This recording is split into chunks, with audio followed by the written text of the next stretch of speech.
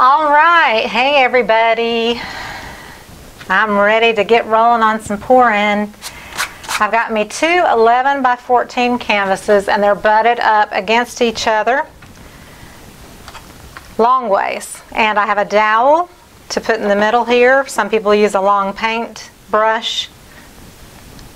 I don't have many long ones, so I, I had a dowel, I stuck it there. This is based on Elyse Fournier's channel on YouTube. She's got her Facebook page. She's been a huge inspiration to a lot of people. So I am going to try her pour. And of course, I don't really know her exact recipe, so I just mixed up my own recipe. I'm not using silicone. So the colors I'm going to use today are all Deco Art, and most of them will come in two ounce bottles. Sometimes I get eight ounce, sometimes 16 ounce bottles, but they're all deco art. Craft paints. This is True Blue, Dioxazine Purple, Prussian Blue, the deep burgundy here, primary red, orange flame, true ochre, and cadmium yellow. And all of those will be posted below the video so you'll have a reference to what colors I used. And what I'm going to do is a gradient pour in my cup. So what I'm going to do is layer up the colors in my cup in a gradient fashion. So what's going to happen is you will, I'll layer each color on top of the other color, but not, and try not to let it sink down into the other colors. So I got my canvases set up and I did a ratio. These are all mixed. Typically, typically I use one-to-one uh, Owatrol Easy Flow, or if you're using Floetrol in the USA, that's wonderful. This is European. It's for those people outside the United States. One-to-one -one ratio, but I did just a little bit more of this than I typically do. You know, maybe one and a half. It wasn't even really that much, just a little bit more. And typically I don't add water to Deco Art paints, but the Owatrol is a little thicker than our Floetrol, so I did add some water to each paint. I did want it a little more on the thinner side, and I've got my big cup of white, which is mixed the same ratio, and it has extra water in it as well. And then what I'm going to do is I have my white in a little cheap squeeze bottle, not my typical nicer squeeze bottles that I love so much. This one is a just a regular dollar store squeeze bottle. I cut the tip off so it's even bigger than it typically would be because I want it to come out pretty heavy when I do squeeze out the white. And this is going to be what they call, it's like infusing the white paint into the colors or injection. So I've never attempted this before and it may be a total flop.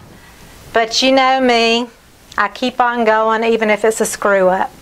And I'm to do it, I'm to put the colors in in a rainbow effect as well. Lining my colors up, I want to make sure I've got them in the order I'd like. I think I want to put my purple next to my red. So I'm to do the Prussian blue, the blue, the dioxazine purple, the burgundy, the red, orange, gold, and yellow. That's the order I want to do in my cup.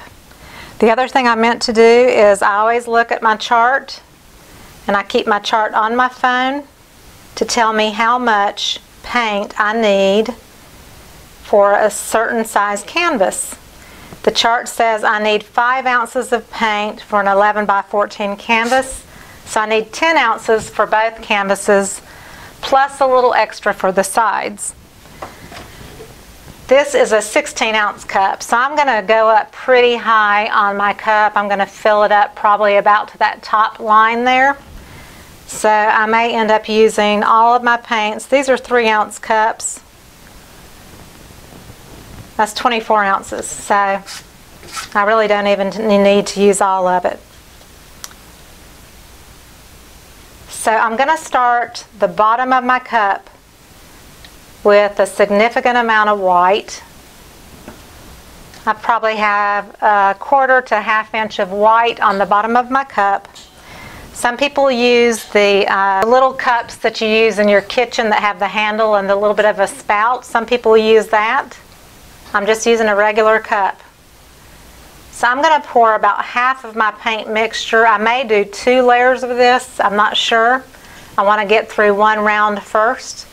So I, I poured it kind of on a slant. It's kind of like when you pour a soft drink or a beer. I'm not a beer drinker. But I know that if you slant your cup, the foam will not come up as much. And so that's kind of the concept of slanting your cup is you're layering that color, one color on top of the other. So I'm going to pour the next color on top of that deep blue and I'm going to pour about half of my cup in. Then the purple.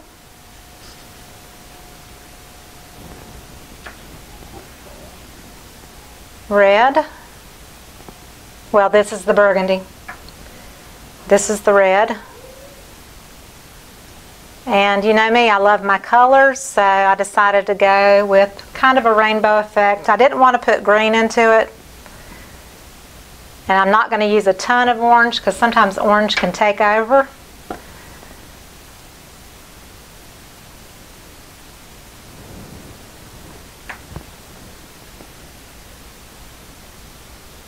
Okay, so when I turn my cup straight up, it's pretty much almost to that top, but I still am lacking just a little bit, so I'm going to pour in a little white on top. And that gets me to my at least 12 ounces of paint that I need for my canvas. So when I saw her video, she just kind of pours and she just kind of travels back and forth across this paint stick, dowel, whatever you're using between your two canvases. So I'm just going to start pouring and I'm going to let it fall over both edges of the stick. And then I'm going to travel just back and forth. It doesn't have to be any particular shape or rhyme or reason. You can leave it in the same spot.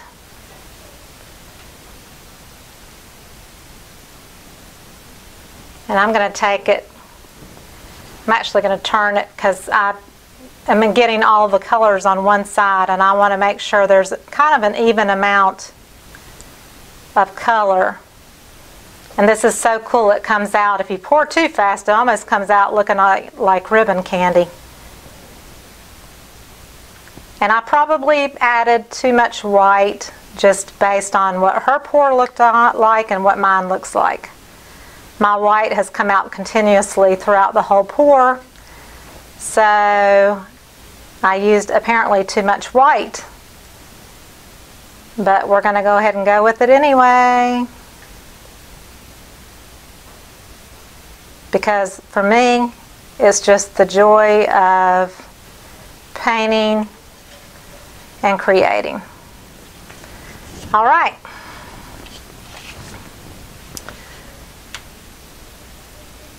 That's pretty cool looking right there. It basically looks like a tree ring. This looks like a tree ring pour right here, right now, already. So now, well, I'm going to leave my stick. I'm not going to move my stick yet. The next thing that she did was she took her bottle and she injects paint randomly this is fun because I've never done this before.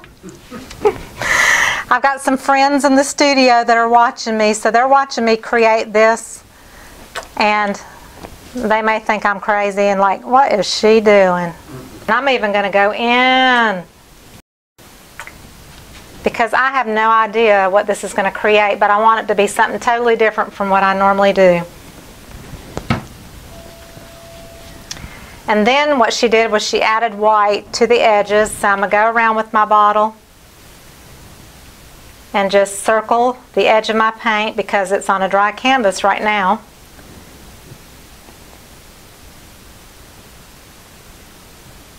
And then I'm just going to add some white along the edges. And it's just so pretty in the cup. Yes. It looks like rainbow angel wings in the cup. And then I'm just going to take my hands and spread my white out because I'm going to tilt my canvas and that's going to cover this white to anyway. But if I have a wet surface, it'll just help the paint flow easier across my canvas. So that's why it doesn't matter if it's totally covered, it doesn't have to be even or anything. We're just giving it a wet surface for that paint to glide on. Okay, I'm going to take the stick out. And that stick is so pretty. It is gorgeous. Is That's okay. I'll let them hear you say it's gorgeous. it I'm just rolling it just for the fun of it to see what it looks like on the paper. Now I'm going to tilt. But I don't want to tilt one on top of the other. So I'm just going to move one canvas out of the way a little bit. And this is basically supposed to look pretty abstract. It's not supposed to be anything like set in stone. It's just supposed to be very abstract. And I might could have gone with thicker layers and you know, there's so many things I might could have done differently. But I just was giving it a try the way I felt like I should do it. And I don't want mine to look like hers anyway. I want mine to be uniquely different. And I'm kind of liking that. I love the way the edges are doing. I love this. It's kind of spreading out and bleeding into each other. So that is really, really beautiful. So I'm going to leave this for now and then tilt this one.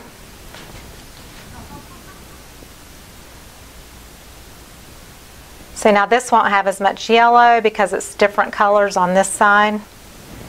But it should kind of have the, the same effect. But I'm trying not to drip on top of my other canvas either. And I kind of want them to to be able to butt up to each other and look like they go together, but that may not happen. But they will definitely look like they are a set. Yes, it does. It does, doesn't it? God, look. look. I got an audience that's pleased. Oh, beautiful. So the question is, do I keep injecting it or do I leave it? I think I kind of like it the way it is. I could keep squirting white into it, but I love I love the way the gradation of color is right there. So I think I'm going to leave it, but I am going to finish since none of my canvases have sides that are wet. I'm going to put the wet white paint around the edges to make sure all my sides are covered. So it's just one big sloppy mess, but that's okay. Because sloppy messes dry pretty.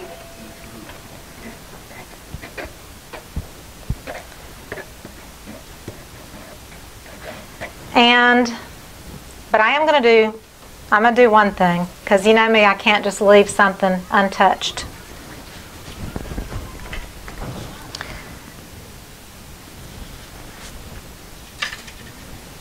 I'm just going to try, just for the fun of it, and see what happens.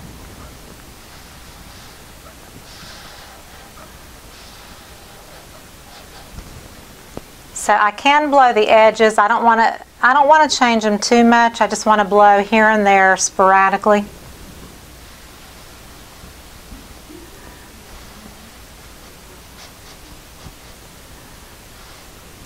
And I'm blowing very gently, It's just with a very, very gentle breath.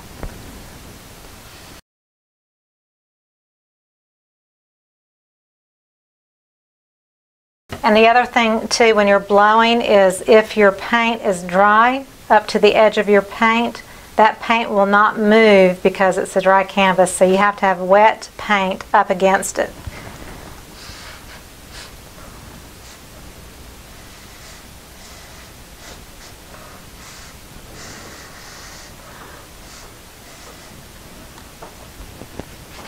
Okay, I think I think that is going to be it. I just didn't want any hard edges. I wanted it all to have a soft, kind of bleeding, wispy edge, and I think that's pretty much done the trick.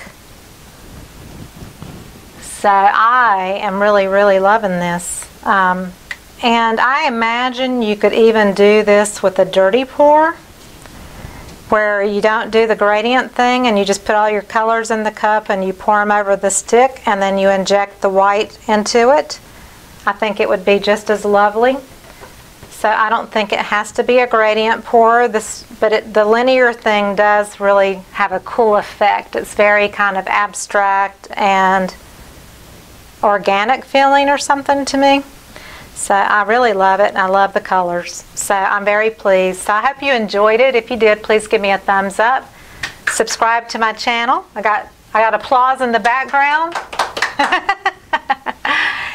and make sure to check out the links below the video where it says show more on your computer or if you're on your mobile device, there is a down arrow that's below the video and if you go down below there, you will see the products I used, the colors I used, and there's all kinds of wonderful links for Amazon and PayPal, Patreon, the link to my Facebook group. Come join me over there. Come follow me on Instagram and we can connect.